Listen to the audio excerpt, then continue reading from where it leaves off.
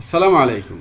প্রিয় শিক্ষার্থীরা, তোমাদের জন্য আজকে যে বিষয়টা নিয়ে উপস্থিত হয়েছি, আজকে আমাদের বিষয় হলো তার বিষয়ের আগে তোমরা দুইটা ছবি একটু দেখো, কি হচ্ছে। এখানে একটা টর্চ লাইট জ্বলছে, এখানে একটা ফ্যান ঘুরছে এবং দেখা যাচ্ছে ফ্যানটাকে সুইচ দেওয়া হয়েছে এখানে বৈদ্যুতিক সার্কিটের সাথে। ঠিক আছে?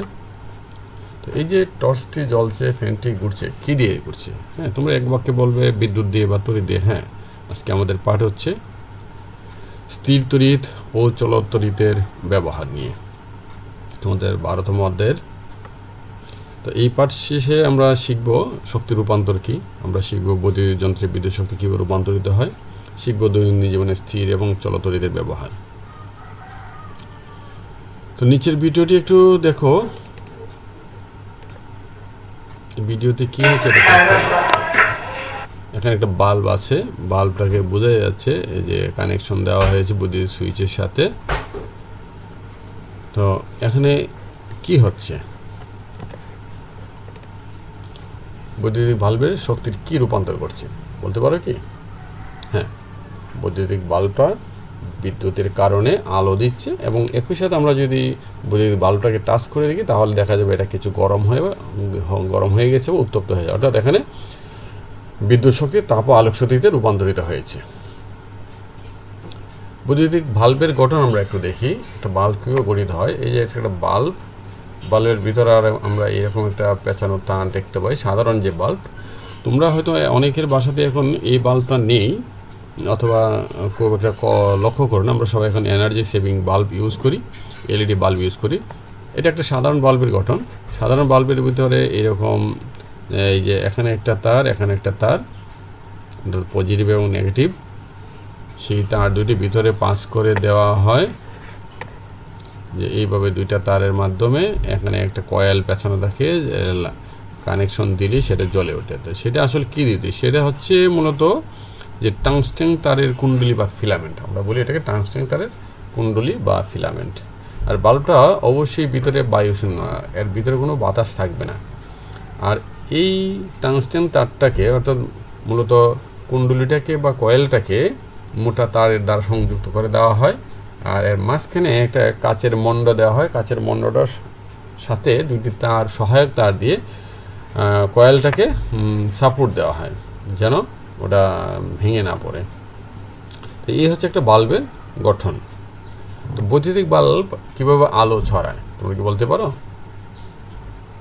বৈদ্যুতিক বাল্ব বিদ্যুতের সাথে সংযোগ করলে তাপ, তাপে ফিলামেন্ট লাল হয়ে জ্বলে ওঠে এবং বিদ্যুৎ শক্তি আলোক শক্তিতে রূপান্তরিত হয়। অর্থাৎ আমরা যখন এটাকে বৈদ্যুতিক লাইনের সাথে সংযোগ দিলাম, কয়েলের সাথে সংযোগ দিলাম, তখন এই যে তারটা আছে, এই তারটার মধ্যে দিয়ে বিদ্যুৎ পাস হয়। বিদ্যুৎ পাস হওয়ার কারণে বাল্বটা তারটা অত্যন্ত উত্তপ্ত হয়ে ওঠে উত্তপ্ত হয়ে ওঠার কারণে বাল্বটা জ্বলে ওঠে এবং আলোক শক্তি দেয়। এবার দেখি, টর্চ লাইটে কীভাবে কাজ করে? টর্চ লাইটে আমরা জানি, আমরা এতক্ষণ যারা দেখলাম, সেটা হচ্ছে যে কারেন্ট বা বিদ্যুতের সাহায্যে টর্চ লাইটে কীভাবে বিদ্যুৎ ব্যবহার করা হয়? যে টর্চ লাইটের ভিতরে এখানে ব্যাটারি ব্যবহার করা হচ্ছে। এই ব্যাটারির ভিতর দিয়ে ব্যাটারি, আমরা জানি ব্যাটারি হচ্ছে মূলত বিদ্যুতের উৎস। এই ব্যাটারি থেকে দেখো, এখন তীর চিহ্ন দেওয়া হয়েছে। এখান থেকে বিদ্যুৎ এইভাবে যাচ্ছে বাল্বের ভিতরে। এই বাল্বটাকে জ্বালিয়ে আবার বিপরীতভাবে ওই যে টর্চের উপর একটা সুইচ থাকে, সেই সুইচটাতে দিয়ে আর একটা কানেকশন দেওয়া থেকে, যা ব্যাটারির পিছন দিকে চলে আসে। অর্থাৎ ব্যাটারি থেকে ব্যাটারির সামনের অংশ থেকে বিদ্যুৎটা বের হয়, বের হয়ে বাল্বের ভিতরে যায়। বাল্বের ভিতর থেকে সুইচ হয়ে বিদ্যুতের প্রবাহটা বাল্বের পিছন দিকে আবার চলে আসে। অর্থাৎ এইভাবে বিদ্যুতের একটা প্রবাহ তৈরি হয় এবং এটা কোনো চলতরিত নয় এটা একটা স্থির তরিত অর্থাৎ ব্যাটারির মধ্যে বিদ্যুৎটা স্থির থাকে। তাহলে টর্চ লাইটে ব্যাটারির সঞ্চিত বিদ্যুৎ শক্তি আলো শক্তিতে রূপান্তরিত হয়। বৈদ্যুতিক পাখা কীভাবে আমরা ব্যবহার করি? দেখো, এটা একটা বৈদ্যুতিক পাখা। আমরা জানি বিদ্যুৎ এর বৈদ্যুতিতে পাস করলেই পাখাটি ঘুরে এবং আমরা কীভাবে ঘুরে সেটা যদি জানতে চাই, তাহলে আমরা এর ভিতরে একটু দেখো, খেয়াল করে। আমরা যদি ফ্যানটাকে একটু কেটে নেই বা ফ্যানটার কাবার খুলে নেই, তাহলে ভিতরে এরকম একটা আমরা যেটাকে কয়েল বলি, এরকম তারের পেছানো কুণ্ডলি দেখতে পাবো এবং এই তারের পেছানো কুণ্ডলিতে দেখো একদম ফ্যানটার বডির মাঝখান দিয়ে একটা ছিদ্র আছে, সেই ছিদ্র দিয়ে, পাইপের মধ্যে দিয়ে তার এসে এখানে প্রত্যেকটা কয়েলের সাথে সংযোগ দেওয়া হয়েছে। এই এই তারটাই তখন আবার এই যে রেগুলেটর থেকে বৈদ্যুতিক ফ্যানের সাথে দেওয়া হয় এবং রেগুলেটর দিয়ে মানে বিদ্যুৎ কম বেশি করে মূলত পাখার গতি নিয়ন্ত্রণ করা হয়। ঠিক আছে? তো এই কয়েলের ভিতর দিয়ে যখন বিদ্যুৎ পাস হয়, তখন একটা চুম্বক তৈরি হয়। ঠিক আছে? একটা চুম্বক তৈরি হয়। এই চুম্বকের আকর্ষণে এই কয়েলটা ঘুরে। অর্থাৎ যতক্ষণ এর ভিতর দিয়ে বিদ্যুৎ পাস হবে, এর ভিতরে একটা চুম্বক তৈরি হবে আর চুম্বকের আকর্ষণে এই গোল চাকাটা বা ফ্যানের মূল বডিটা ঘুরবে এবং সেইটার সাথে আমরা এই যে এখানে দেখতে পাচ্ছ, যারা দিয়ে বাতাস পাই একটা ফ্যানের পাখা, এখানে তিনটা পাখা দেওয়া আছে, কোনো কোনো ফ্যানের চারটা পাঁচটাও থাকে। সেই পাখাগুলো এর মূল বডির সাথে যুক্ত করে দেওয়া হয়, ফলে ফ্যানটা ঘুরে আর ঘোরার কারণে আমরা এই ফ্যানের বা পাখার ধাক্কায় বাতাস আমাদের দিকে প্রবাহিত এবং বাতাস পাই এ হচ্ছে বৈদ্যুতিক পাখায় জলবিদ্যুতের ব্যবহার। আমরা আর একটা ব্যবহার দেখি বৈদ্যুতিক হিটারে, ঠিক আছে? যে হিটারে এরকম একটা বডি থাকে, এর ভিতরে মূলত এরকম একটা চীনামাটি বা মাটির একটা প্লেট থাকে, তার ভিতরে, এই গর্তের ভিতরে এরকম একটা কয়েল পেঁচানো থাকে, ঠিক আছে?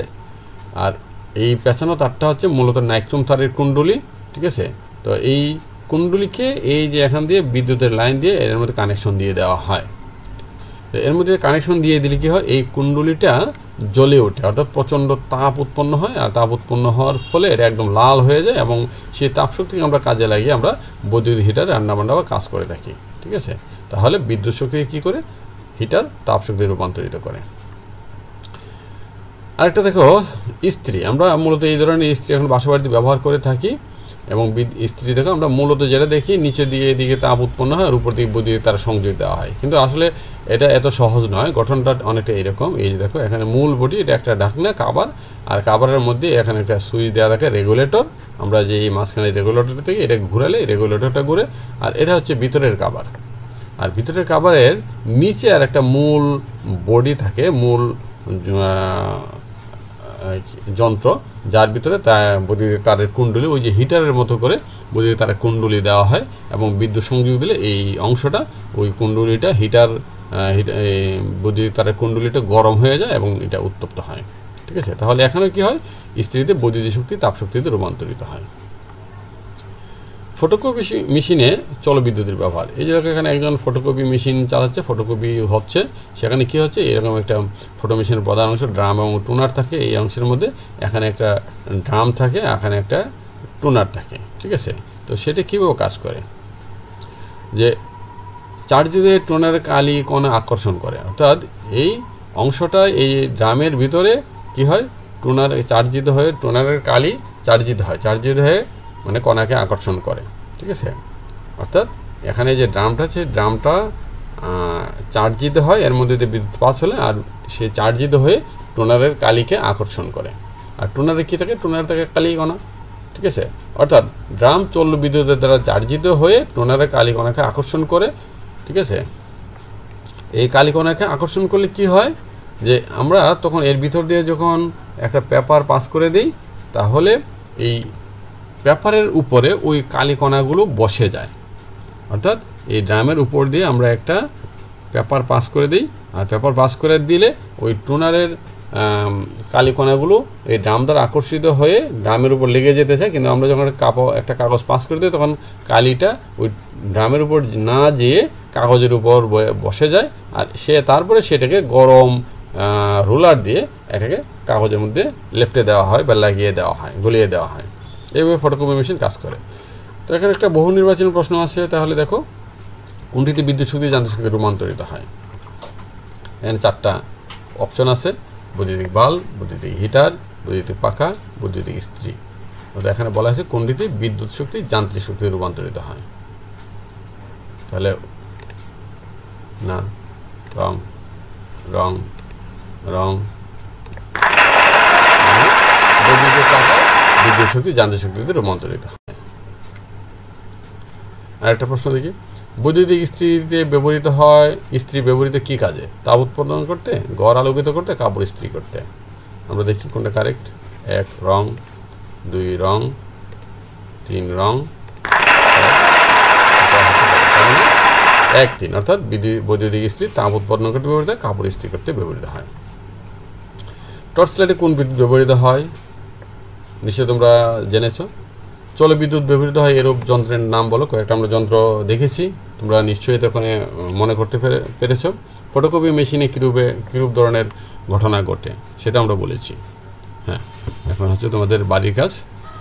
তোমার জানা স্থির এবং চল বিদ্যুৎ ব্যবহৃত হয় এরূপ কয়েকটি যন্ত্রের তালিকা তৈরি করে এবং এদের কার্যপ্রণালী লিখবে। ধন্যবাদ সবাইকে। আসসালামু আলাইকুম। এই ছিল আজকে আমাদের পাঠ। আশা করি তোমরা শুরু থেকে শেষ পর্যন্ত দেখেছ। পাঠটা তোমাদের জন্য যদি সামান্য উপকার হয়, তাহলে আমাদের এই শ্রম সার্থক হবে। ধন্যবাদ সবাইকে। আসসালামু আলাইকুম।